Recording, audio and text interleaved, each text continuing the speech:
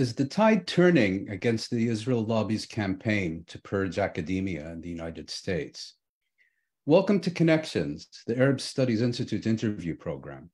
I'm Mouin Rabbani, and for this episode, we're delighted to be speaking with Nader Hashemi. Nader Hashemi is a director of the Center for Middle East Studies and an associate professor of Middle East and Islamic politics at the Josef Korbel School of International Studies at the University of Denver. Nader Hashemi, it's a real pleasure to welcome you to Connections. Thanks, Mouin, for the invitation. Um, let's uh, dive right in to your personal experience of the theme we're talking about, which is um, the campaign by um, the Israel lobby in the United States to purge academia of unwanted and particularly um, Palestinian and pro Palestinian voices. Your case is a little different in, in that um, uh, the key event, in fact, had nothing to do with Palestine. Rather, you were asked to comment on the um, attack on the author Salman Rushdie last August, and you were asked which regional powers in the Middle East may benefit from that attack. Um, perhaps give us, uh, you know, perhaps you can summarize for us what exactly happened and, and what the subsequent response was. So last August, in um, the middle of you know summer when everyone was on vacation, I had a, a friend who does this podcast called the Iran Podcast. She invited me on the program to talk about the recent um, assassination attempt on Salman Rushdie and to go over the, the history of the Salman Rushdie affair and talk about the you know the, the the politics of Iran and the broader region that was relevant to that topic. I didn't think twice about it. It was a very small podcast, very small liter, uh, listenership um, I was asked a question at the end of the interview about you know who might benefit from um, from the attack, um, and I made the argument that the you know you know Canada doesn't benefit, Rwanda doesn't benefit, but you know Israel might be a beneficiary because the attack was happening at the precise moment when there was sensitive Iran uh, U.S. nuclear negotiations going on and Israel has a long track record of trying to subvert the Iran nuclear deal. So, among the different scenarios that I said could possibly be, you know, at play here would be a possible, you know, uh, Mossad role. I consistently, in all the interviews that I gave on the topic, said that the most likely uh, scenario was that it was a radicalized young, you know, Muslim American kid who did this. But um, so I'm so I answered the question in that way, and then 48 hours later, all hell broke loose. Um, so you, you were asked um, a question in your capacity as a, as a specialist and an analyst, and you provided the different scenarios that, that might have been um, at play here. Correct. And then my critics focused on the term that I used most likely. You know, I said it was most likely the Mossad, but it was most likely the Mossad in the context of the question that was posed to me who benefits from this, not in terms of who likely did it. So there was a little bit of a, you know, um, um, of, um, a poor word choice that I should have re-emphasized exactly what I was responding to, and then they seized upon that and ran with it that uh, to portray me as an extremist, as a conspiracy theorist. And then the pro Israel lobby um, went to work. Uh, about uh, the, the, the podcast was broadcast on a Saturday. On Monday night, I get a call at 10 o'clock at night from my dean calling me from his son's wedding that's, this is at the University of Denver. That's right. I was in Toronto at the time. My mm-hmm. dean calls me from Denver, I believe, from his son's wedding and says, Look, Nader, all hell is broken loose here. We're in for a rough ride over the next few weeks. I'm going to try and protect you, but I want you to know that this podcast that you gave has resulted in the university coming under very heavy pressure to condemn you, to repudiate what you said.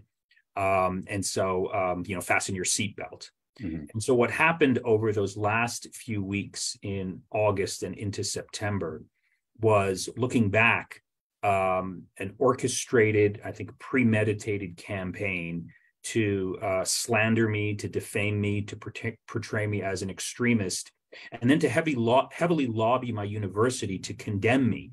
And the university, to its great shame, actually caved into the pressure. So about 72 hours after the podcast was broad broadcast, um, again to a very small audience with a very small lit, um, listenership, the university um, came uh, out with a statement condemning me um, for allegedly being uh, a threat to Jews on campus. Uh, the statement also implied that I didn't know what I was talking about. I had no expertise or evidence to back up my um, speculation. So you were effectively being accused of anti Semitism. Exactly. Hmm. Um, and of course, around the same time, um, I was also um, um, uh, being accused explicitly of promoting anti Semitism by virtue of a statement that was issued by several local um, uh, pro Israel organizations here in Denver that explicitly in their statement um, claimed that what I said in that podcast was uh, perpetuating anti Semitic stereotypes, imposing a threat to Jewish students on campus, and calling for the university to issue another statement against me um, um, in condemnation of what I, uh, of the threat that I allegedly posed. You know, to Jewish students. So there was a, a, a, a d- during this time period, you know, late August, early September, there was a, a media frenzy uh, that took place mostly on right wing social media. It even actually went to the US Congress, where right wing social media organizations interviewed uh, members of the um, Republican Party and told them of what allegedly happened. And um, members of the Republican Party went on record as saying that once they take over the House of Representatives, they were going to launch an investigation into un-American activities at the University of Denver. That rings a bell. It rings a bell. And so, um, um, and of course, one of the I think key participants in this media frenzy was CNN's Jake Tapper, one who, of Israel's favorite journalists. One of Israel's favorite journalists. Um, he tweeted a, a picture uh, of me, um, claiming that I was quote a pro-Iranian academic spreading uh, a vile form of Jew hatred. Um, and he subsequently took the tweet down after uh, it was told to him that to call me a pro Iranian academic, a pro Iranian regime academic, is simply ludicrous given my writings on the politics of Iran. So, anyways, this was the atmosphere that was created. And the worst part of it for me was really how my own university, without even informing me in advance, that they were going to issue a statement, issued a statement in a moment of panic. Um, and I was told it was in a moment of panic from senior university administrators who threw you under the bus. Throw yeah. me under the bus without yeah. letting me sort of, um, you know, without consulting me or asking me about, you know, what I said and what I was trying yeah. to say. And they did it because they were under intense pressure. And even though the trigger comment had nothing explicitly to do with Israel Palestine, I think you know, it really was all about Israel Palestine because I have a long track record of saying things that deeply upset the pro Israel lobby, such as Israelis and Palestinians are equal to the same human and national rights as everyone else on the planet. And that's enough to get charged with anti Semitism and to be uh, vilified in the way that I was. Mm. Uh, so that's in a nutshell what happened. Of course, in response to that, I had to then spend. Well, be, before before we um, uh, proceed further, I'd I'd like to ask you: Did was this incident really the beginning of the campaign against you, um, or was it perhaps the high point of a longer uh, standing effort to delegitimize you and perhaps have you removed from your post at the university? Are are there antecedents to this? Yeah, there were antecedents. So the summer before, the summer of 2021, you recall there was a major um, upsurge in violence in Israel Palestine in the May Gaza uh, Israel war that mm-hmm. killed um, at least 60 children. Everyone remembers that famous image on the front page of the New York Times. Um, and around that time, there was um, the publication of the very famous Human Rights Watch report on Israeli apartheid, and a few months earlier, the B'Tselem report on um, Israel and the crime of apartheid.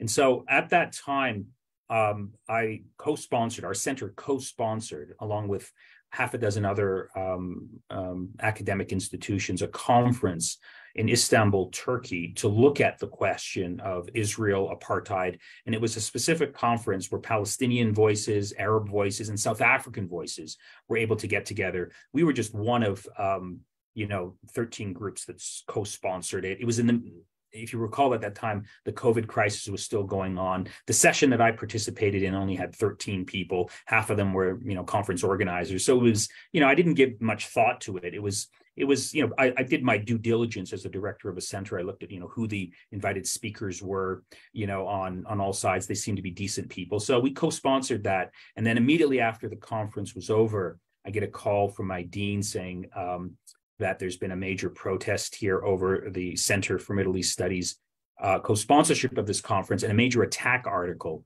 uh, was published in the Colorado Mountain Jewish News, which is basically a Trump Netanyahu sort of you know um, newspaper um, uh, attacking me and attacking the university. Uh, for the co-sponsorship of this conference. Again, a conference on the other side of the world that had very low attendance, but all of a sudden this crisis you know um, is put on the doorstep of the university and the university had to come up with a statement we did not endorse this conference. Um, this is um, you know not something that we blessed. We had you know nothing to do with it. But then the dean my dean called me up and said look Nader you know i wish you would have given us advance notice. Um, um, we're, we're in a crisis here. And then a new policy was then presented that going forward as a result of that conference in Istanbul, the dean had to now sign off on any co-sponsored events uh, going forward. And of course, this was a new policy that was exclusively a result of the question of Palestine and because of outside pressure on the university, uh, forcing the university to come up with new policy to effectively keep um, my outside critics happy uh, so that was the antecedent of the of the event that happened in the summer of 2020. And, and, when we talk about outside pressure, who are we talking about? Are we talking about particular um, uh, groups, more widespread popular campaigns, uh, figures in Congress, um, perhaps yeah. in the in the state uh, legislature? Yeah, no, it's mostly um, pro-Israel organizations, specifically the local chapter of the ADL, the Anti-Defamation League. The um, Defamation League, as it's Defamation League, right? ADL, and also the local Hillel chapter, um, which is a um, student group, I believe. No, it's a student group, but there's also a community representative that mm-hmm. manages and oversees the affairs of students. They and I don't I don't have the exact details. So this is something akin to a commissar? Yeah, I mean, someone who, you know, whose job it is to sort of just police the debate mm-hmm. on Israel Palestine. But in both of these cases that I just mentioned, I am 100% certain that no one in Colorado actually listened to the conference in Istanbul or actually listened to the podcast interview. They were given this information from the broader pro Israel network, and they were told, in my reading, that look, we've got this troublemaker in Denver, Colorado. It's your job to step up to the plate and defend the home team. And that's exactly what they did. Um, it was revealed to me that during both of these crises, there were dozens of meetings between these local pro Israel organizations and senior university officials in every single one of those meetings where I was at the center of the controversy, I wasn't once invited to meet with these groups, to present my side of the story, to have a discussion or dialogue. And this, you know, completely undermines one of the stated aims and goals and ideals of the University of Denver. Um, that's uh, known as DEI, diversity, equity, and inclusion. There was actually no inclusion. There was absolute and total exclusion um, um, in all of these events, largely because I think the university um, didn't really know what they were getting into. I think this is one of the themes that I think comes out in these controversies on university campuses is that most university officials, generally speaking, are decent people. They don't really have a stake in the Israel-Palestine conflict. They don't know. They don't even know the details of the conflict. I'm, I'm of the view that my chancellor couldn't identify the Gaza Strip on a map if he had to. But what but happens? The deer in the headlights panicked. Yes, exactly. There's an immense amount of pressure. And what happens is that these pro Israel organizations um, use, weaponize charges of anti Semitism and make the argument that um, our Jewish students on campus are now under threat. They're feeling pressured, they're uncomfortable because of the statements of this one professor.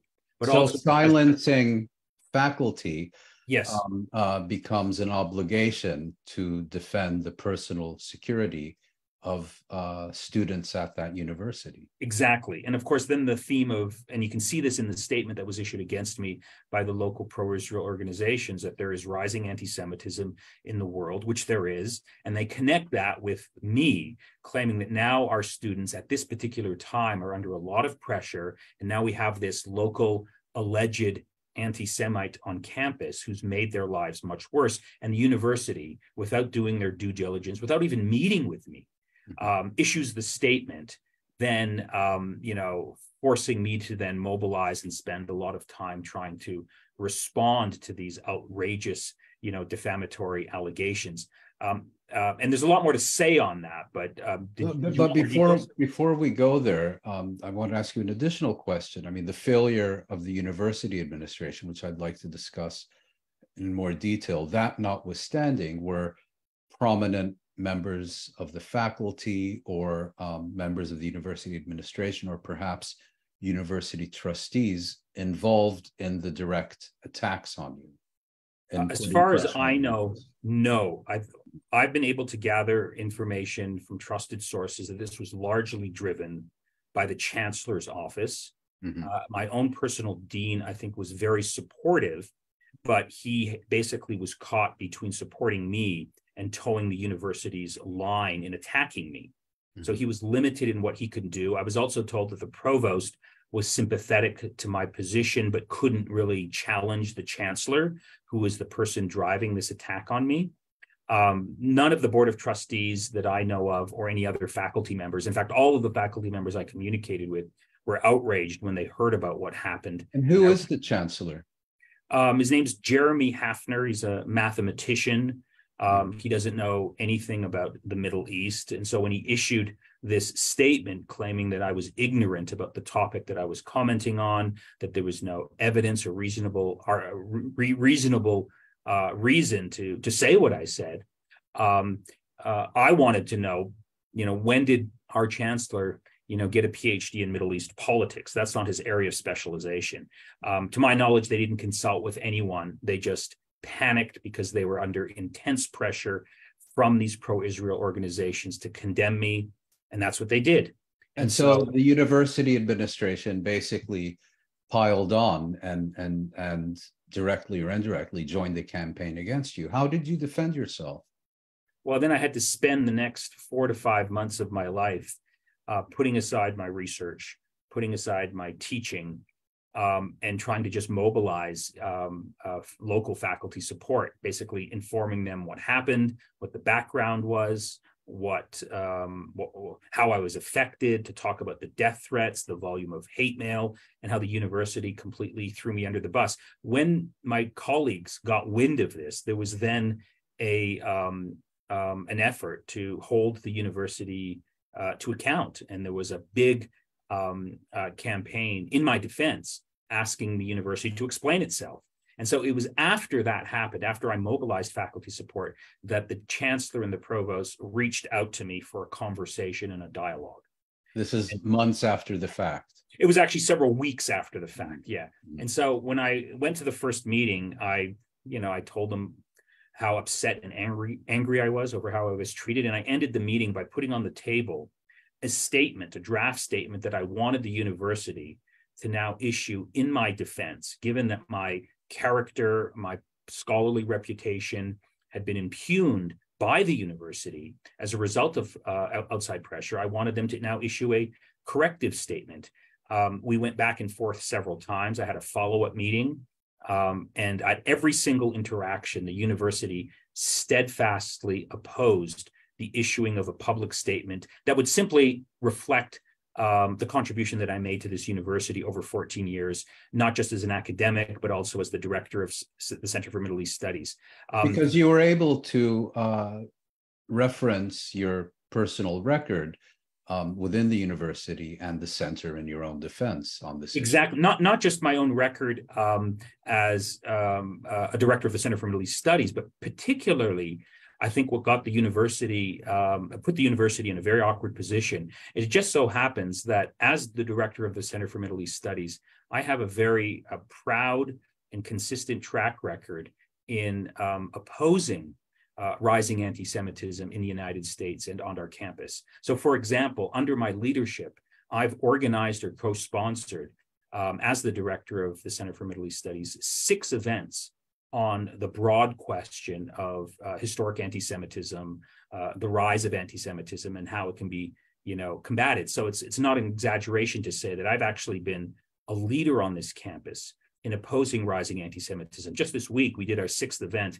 and it was a public screening of the Ken Burns documentary on PBS on the U.S. and the Holocaust, and we had a discussion around it and what it meant for today. So when I asked the university to, um, you know, publicly affirm my track record, including my track record, because the question of anti-Semitism has come up in combating anti-Semitism, they refuse to do so. I want you to know this: that I asked my dean separately if he could then issue a separate statement as the dean of the Korbel School of International Studies in my defense. And he looked at me straight in the eye and he said, Nader, I'd like to issue that statement for you, but I have to ask myself the following question Is this the hill that I want to die on?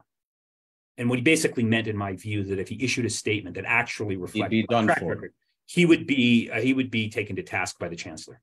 Mm-hmm. And what happened next? well, there was a long back and forth. Um, um, um, uh, my colleagues were um, meeting regularly with the provost and the chancellor. Um, and uh, when I realized that you know no statement was forthcoming, um, I had to then sort of gradually start to tell my own story.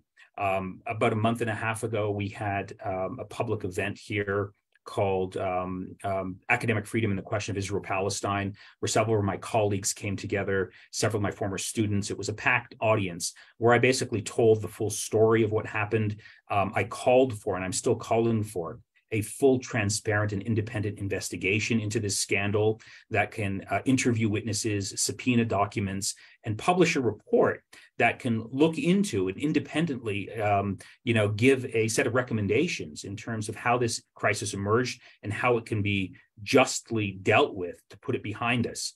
Um, hasn't gone anywhere yet. I think the university um, um, is now in a bit of a panic mode, knowing that uh, they've over that they that they treated me horrifically.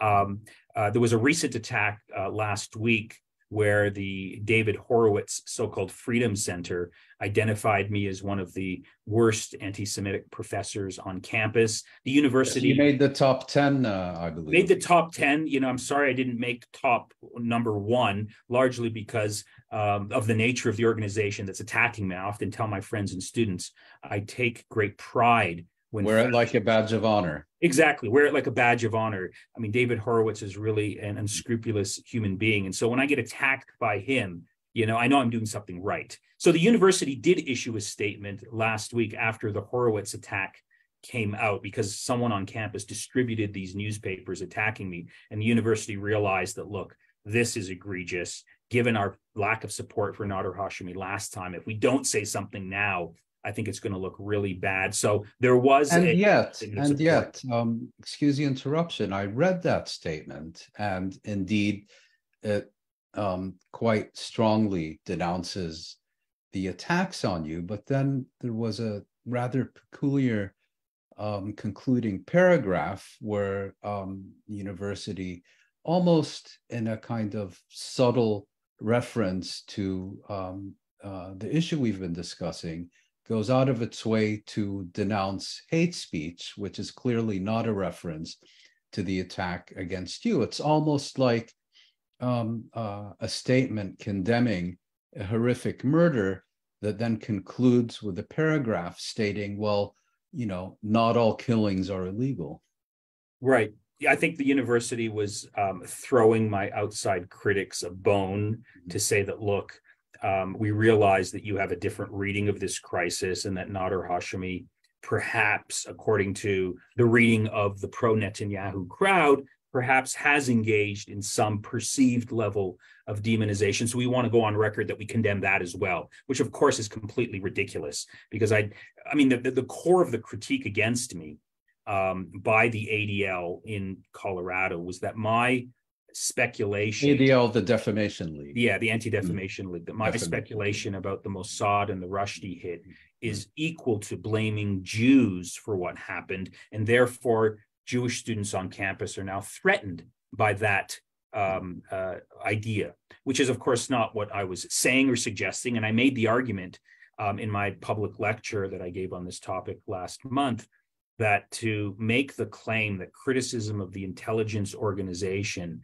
of a nation state like Israel is equivalent to anti Semitism is like saying criticizing the Islamic Revolutionary Guard Corps is tantamount to Islamophobia, or criticizing the Chinese Communist Party is equivalent to anti Chinese bigotry. I mean, this is just ridiculous. Nobody takes this thing seriously. But unfortunately, I think university administrators who are completely unaware of the politics of the Israel Palestine conflict, when they're confronted with um, alleged um, accusations of anti Semitism, completely panic and issue statements like the one they did against me. And then after they realize you know maybe they overreacted then they try and backtrack and so i'm very committed to sort of making sure that there's accountability for this you know treatment and that there's going to be an independent investigation that will fun- fundamentally exonerate me but also expose the behavior of my outside critics because i strongly believe that unless we uh, name and shame the people who and the organizations that are responsible for this type of defamatory unscrupulous form of politics it's only going to get worse. But in the meantime, um, you've lost confidence in the university where you've been working and teaching for 14 years. Correct. I realized that given um, the um, inability or refusal of the university to protect me, to protect my academic freedom, that directing a Center for Middle East Studies, teaching courses on the Middle East, um, would be increasingly difficult uh, for me to do. I remember there was one moment in the middle of this crisis where I was giving an interview to the BBC. And just before the interview starts, I sort of go into a little bit of a mini panic mode. Like, oh my God, what happens if I say something in this interview that is then again misconstrued and misinterpreted? And then i have to spend the next four or distorted in effect. Or distorted exactly. Mm-hmm. And then without and, and i think you know university administrators the lesson here is particularly on hot button issues on areas such as the middle east and especially on israel palestine it's impossible to run a serious academic center or teach courses unless you have university administrators that are willing to back you up when it comes to issues of academic freedom. That did exist, you know. I was I've been director for this center for 10 years. For the first 8 years, I had strong support from university administrators. There were small incidences where the dean would tell me, "We've got this complaint about this speaker that you're bringing in. Could you just tell me why you're doing it?" I would send the, the dean an email, end of discussion.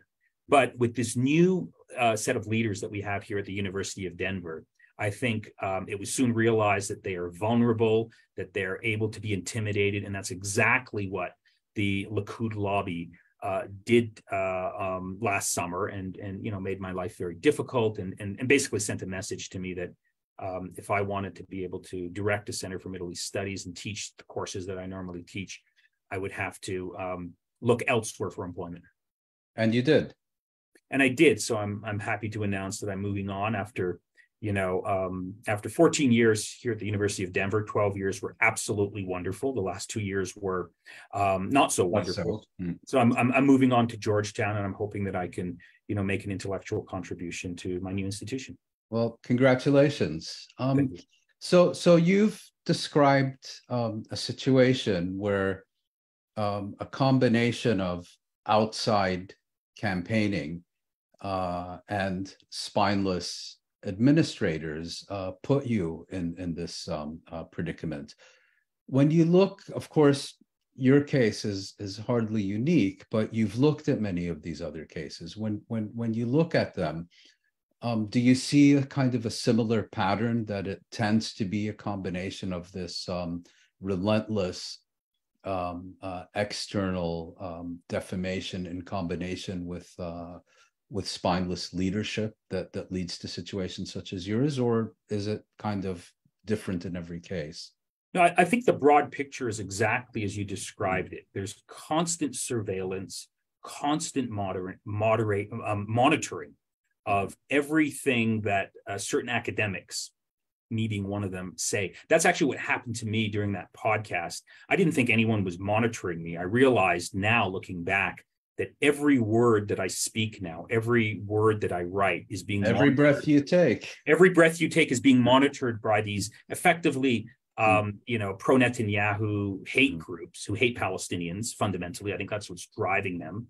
Um, and then you could be, you know, uh, taken to task for something that you um, um, said where your intention was completely distorted, your words were completely, you know, um, uh, mangled. So I think the broad picture is exactly as you described it. You have constant monitoring, constant surveillance, constant sort of um, um, uh, poking and looking for opportunities to police the debate on Israel Palestine and to get university administrators, many of them who have no background in the Middle East, to sort of cave into pressure. I mean, that's very much what happened at the famous case at the University of Toronto Law School, where um, there was basically a similar incident where the dean, after being lobbied by a pro Israel donor, effectively canned the hiring of a distinguished human rights scholar, producing then a big scandal, not that different from what happened to me.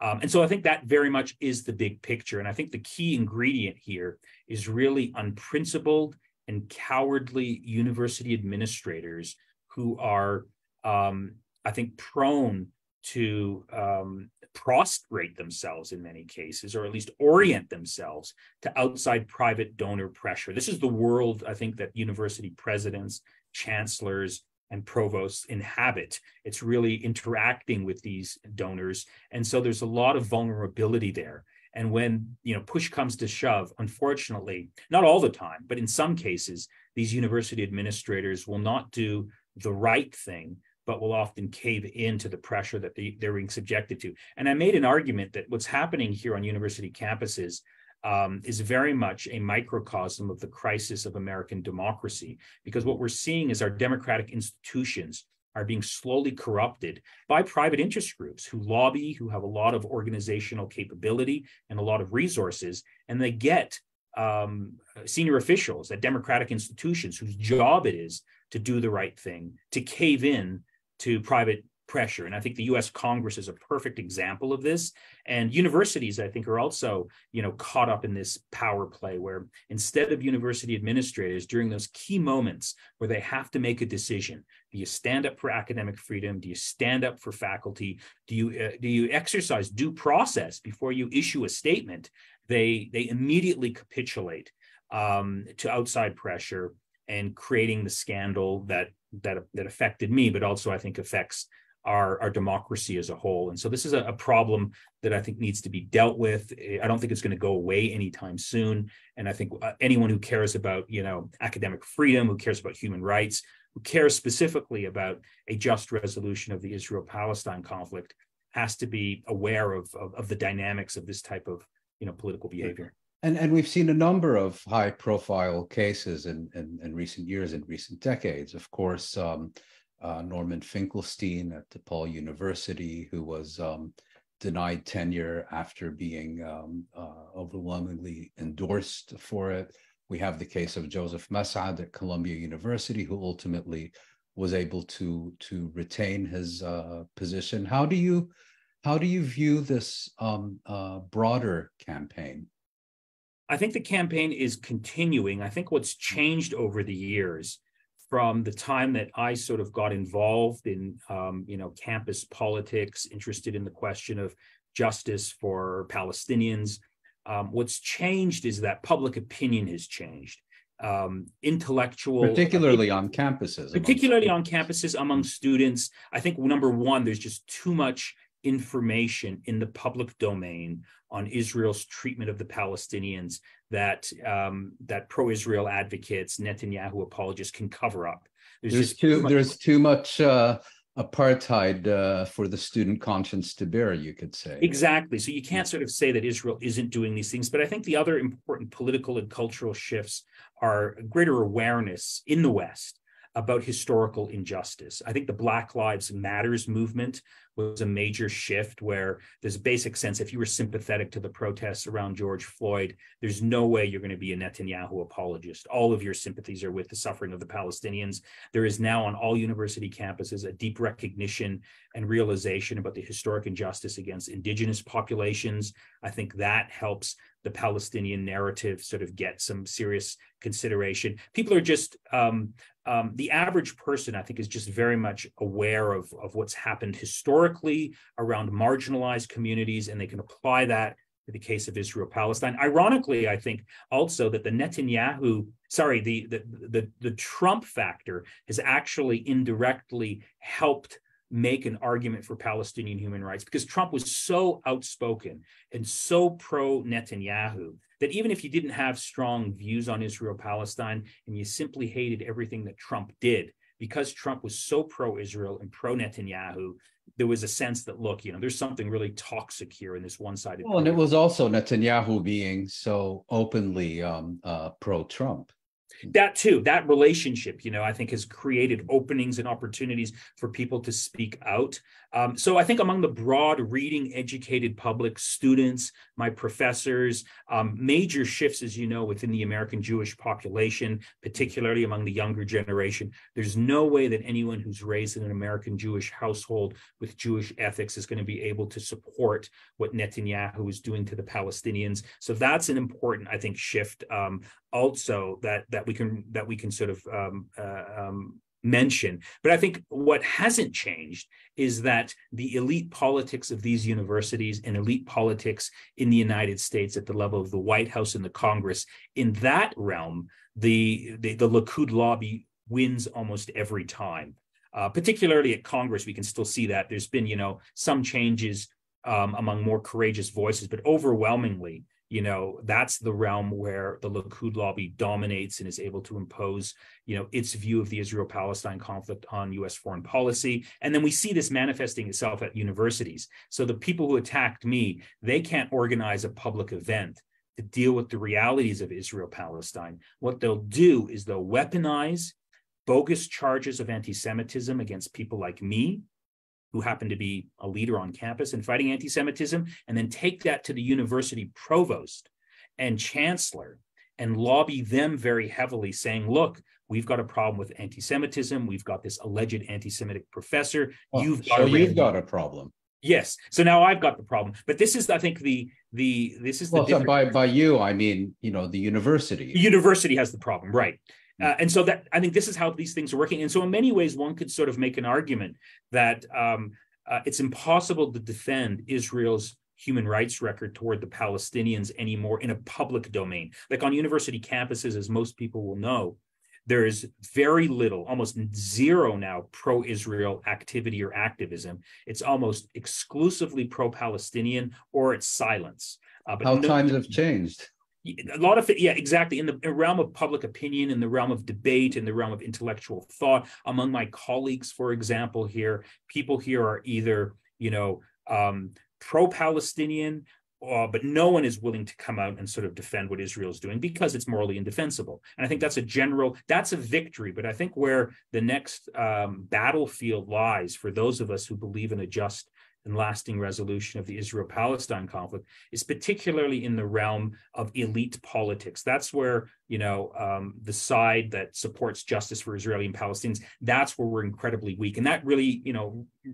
uh, necessitates um, a certain organizational sophistication, getting involved in party politics at the local level, at the state level, at the national level, being able to sort of support candidates who are not going to be intimidated by AIPAC and by the Likud lobby, and are able to sort of go to Congress and do things like you know Bernie Sanders has done in terms of sort of standing up and you know speaking honestly and and and truthfully about what needs to shift in terms of U.S. foreign policy toward mm. the Middle East, Israel, Palestine in particular. So I think we need to acknowledge the positive shifts that have taken place in terms of public opinion, in terms of attitudes, but we also I think have to recognize how many more important battles still remain to be fought before we can um, you know bring this conflict to a just resolution.